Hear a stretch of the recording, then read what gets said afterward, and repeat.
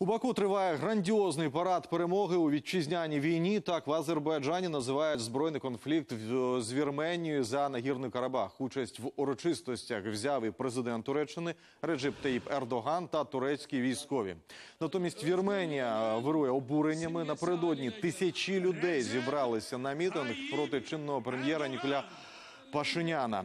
Вони вважають урядовця зрадником та вимагають відставки через поразку у війні за невизнану республіку. Акція протесту не вчухають Україні уже місяць, відколи Баку та Єреван підписали мирну угоду. За нею відвойовані землі Карабаху та ще три райони відійшли Азербайджану. Ми вимагаємо відставки зрадника Нікола та його уряду. Він обманював нас протягом 44 днів. Так багато дітей лишилося там. Він не зміг забрати тіла загиблих та повернути наших полонених. Він не вирішив жодної з цих проблем, а просто віддав нашу землю.